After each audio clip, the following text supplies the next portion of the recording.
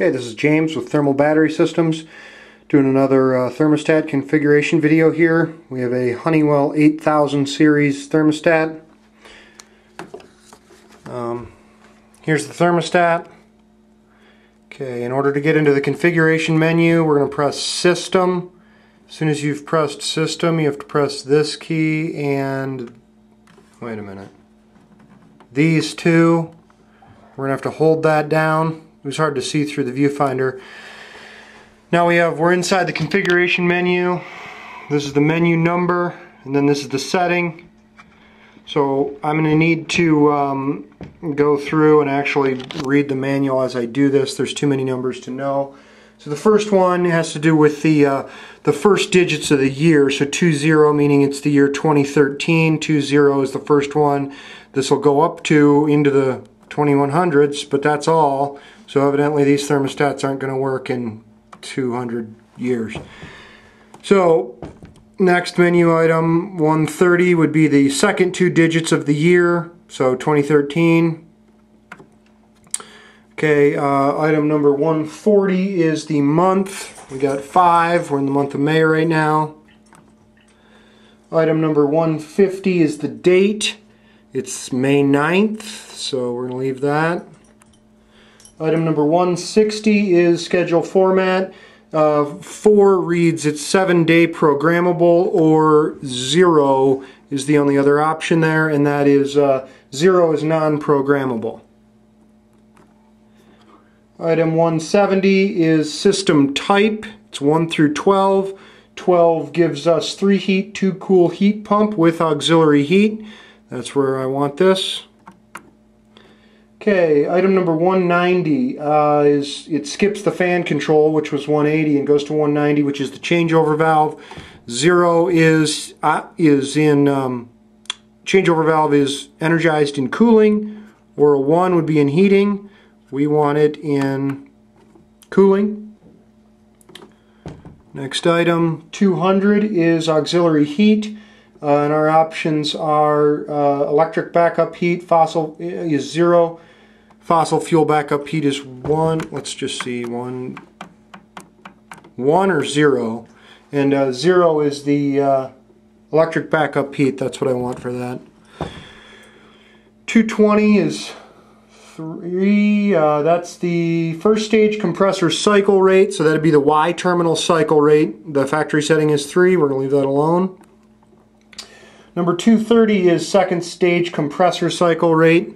Also 3, we're to leave that alone. Okay, continuing on here, I'm at number 260. 260 is third stage heat cycle rate. They've got that on factory setting of 9, I'm going to leave that alone. Okay, 270 is emergency heat cycle rate on 9, leave that alone. 280 is the backlight, either 0 is um, on when you touch it or one is on low continuously as long as you've got 24 volt AC power and then if you touch it uh, it gets brighter. I'm gonna leave it on one. I've got this one wired up. It doesn't matter, we have the light on it. But um, Item number 300 is manual auto changeovers. Zero is manual only. One is manual and auto. And apparently on this one that's all we get. On the others, uh, on the 6000 we had the two settings. I'm to leave that on manual. 320 is temperature display Fahrenheit or Celsius, 0 is Fahrenheit, 1 is Celsius. 330 is daylight savings, 2 represents auto changeover, 1 represents auto, another different kind of auto changeover with a date, and then there's a 0 for you can turn it off. I'm going to leave it on auto. 340 is remote sensor in case we have an outdoor temperature sensor on here. We do not. We're going to leave that as a 0. Oh, let's go back. 340 also says you could have an outdoor temperature sensor on here for display only would be uh, 1. If you select item 2, uh, you'd have an outdoor temperature sensor that could control a heat pump. That would probably be useful for an air source heat pump that can't operate below a certain outdoor temperature range. It's not going to make any difference for a ground source unless you've determined the balance point and you want to shut it off at that point. Um, you know, if if it, if the balance point wasn't um, wasn't within the full range of uh, design conditions. And three would be as if you have an indoor sensor. So there's three options there just to be aware of. That's item number 340. Number 500 is, uh, let's see, it's, so it skips several there that are not in the in this configuration now. So 500 is furnace filter changeout reminder. You can go from basically 0 to 6 and those are going to show different, uh, that'll remind you based on different days runtime. 1 is 10 day and 6 is 365 day and 0 is no reminder. 510 is humidifier pad changeout reminder. We got 1 through 3 there, choosing anywhere from no reminder to 90 days to 365. 520 is UV lamp change reminder. 0 is off. 1 is 365 days. That's all you get on there. 530 is adaptive intelligent recovery. 1 is on, 0 is off. I'm going to leave that off. 540 is program periods, so we can do four. Four or two is your settings here. Four means four programmable periods, and two means two programmable periods. Whether it's, it's either wake, leave, return, sleep, or just wake and sleep. Leave that on uh, two. I like to minimize the uh, complexity here. Uh, 580 is compressor protection, so it's anywhere between one minute or zero minutes and five minutes. I'll leave that on zero. 600 is high temp range stop, so you got your 90 degrees. 610 is your low range, 50 degrees. Uh, 640 is the clock format, 12 or 24 hour time.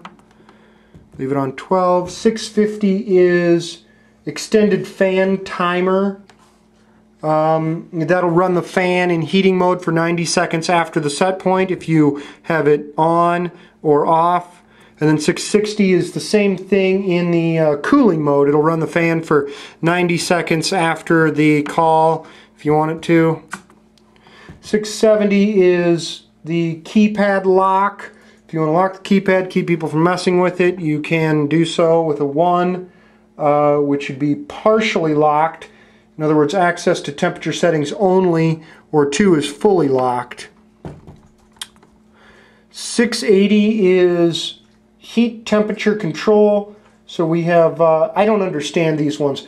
2 says standard temperature control, which is recommended. 1 is choose if room is warmer than set temperature. 3 is choose if room does not reach set temperature. That's in the heating mode.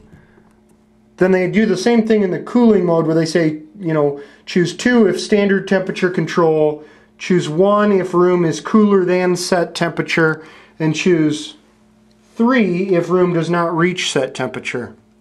I, I don't understand those to be honest. 700 uh, temperature display offset. Uh, in this one we can we can decide if we want the display on the readout to be higher or lower than what the room actually is. 710 is the reset. If we select uh, apparently 0 on this, then no reset. If we select 1 and then hit done, we're going to reset all the options. Okay, now we're back around to the test, uh, test portion of the menu. So essentially we are done. Let's try and make this thing work. Uh, we're going to go to System and we will, uh, it's going to blink until we hit done. It's off there. Let's do it. Let's take it to emergency heat first, and then let's just see if we can make emergency heat work. We got a set point of 82. It says it's 70. The heat is on. It's turned on. The fan G terminal is activated, and the W terminal is on. Nothing else is on, so that's correct operation for emergency heat. Let's change this to regular heat.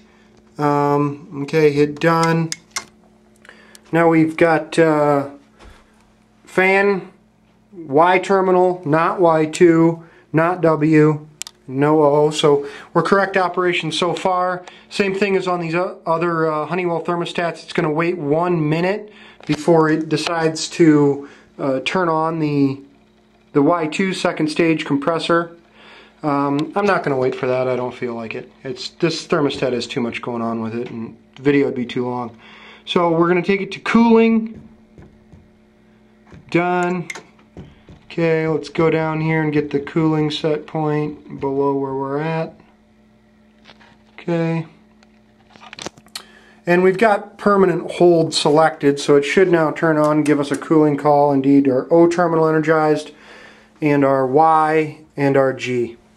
So, correct operation in the cooling mode, and you're just going to have to take my word for it that it's going to wait um, uh, it's going to wait one minute before it turns on the second stage compressor as long as there is a significant enough differential and I suppose why don't we just we will wait on that since we're kind of be not too far away from it here I'll make sure there's still plenty of cooling call and we should just wait a second and that Y2 terminal should start uh, should energize in just a moment here meaning the uh, the thing will energize the the full capacity of a single stage heat pump it would go from 68% capacity or thereabouts, which would be how much you'd get if just Y1 is energized, to 100% capacity if Y2 is energized.